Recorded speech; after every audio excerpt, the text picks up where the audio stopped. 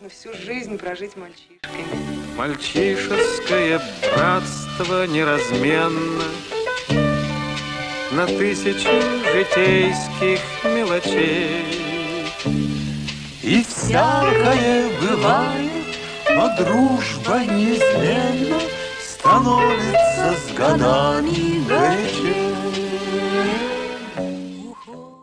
У Всеволода Абдулова яркая и, к сожалению, трагичная судьба.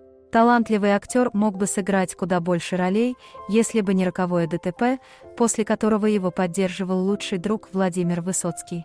В 1960 году будущий актер подал документы во все театральные вузы Москвы, включая МХАТ.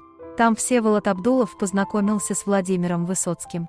Тому импонировали человеческие качества этого человека, порядочность и скромность. При этом парень был явно талантлив и умен. С этого момента Высоцкий и Абдулов общались до конца жизни поэта.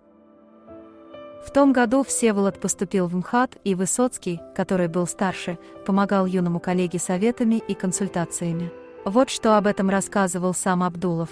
В начале лета я приехал в Москву со съемок фильма «Ждите писем» на похороны Бориса Пастернака. А потом поступил в школу-студию МХАТ.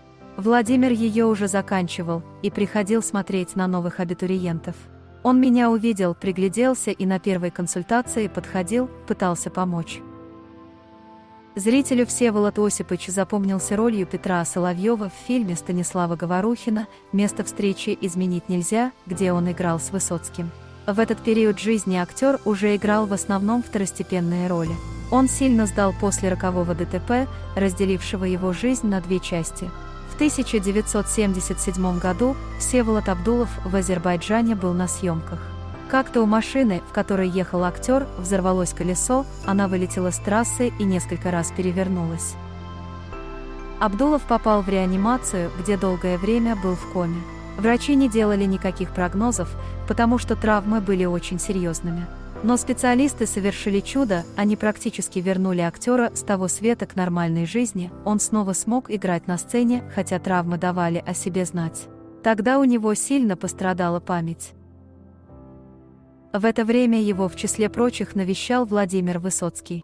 Вообще, он часто приходил на помощь друзьям в трудную минуту.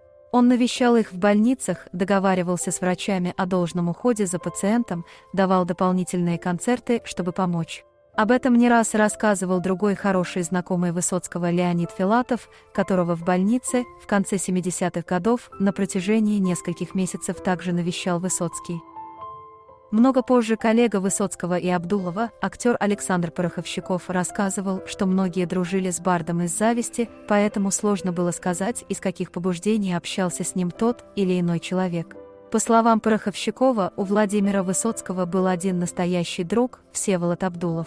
Высоцкий мало кого впускал в свой ближний круг, слишком много предателей он встречал в своей жизни.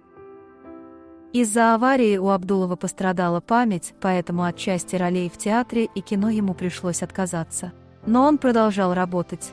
Он озвучивал фильмы и мультфильмы. Многие герои голливудских фильмов в 90-е и начале нулевых говорят его голосом. Выйдя из больницы, Всеволод Абдулов пребывал в депрессии. Он понимал, что жизнь для него изменилась, но не мог сразу принять этот факт. Коллеги его поддерживали, а Высоцкий предложил своему другу прочитать сценарий фильма «Место встречи изменить нельзя». Рукопись понравилась актеру, и тогда Высоцкий предложил другу выбрать себе роль.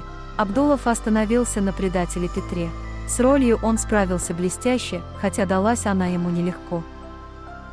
Когда Высоцкого не стало, то до конца жизни, каждый год, Абдулов 25 июля ходил на его могилу на Ваганьковском кладбище. Так было и в 2002 году. Утром актер сходил на могилу друга, а к вечеру ему стало плохо. Через день актер скончался в возрасте 59 лет. В этот же день родился его правнук, которого назвали Владимиром, в честь лучшего друга Всеволода Абдулова.